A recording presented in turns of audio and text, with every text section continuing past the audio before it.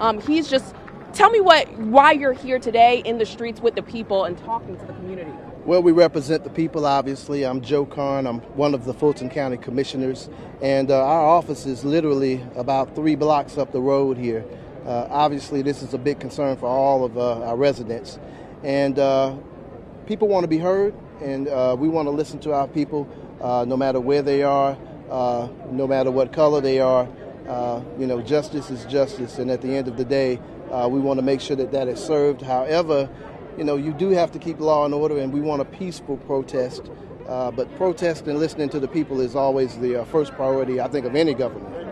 So let me ask you this what is one thing or a couple of things that you heard today that really sat with you that you want to inflict change on? Well, I've heard several times the need for a uh, hate crime statute in the state of Georgia. Uh, that's been one of the big issues that I think there's a concern for. And obviously, uh, the type of policing that people are looking for in the community.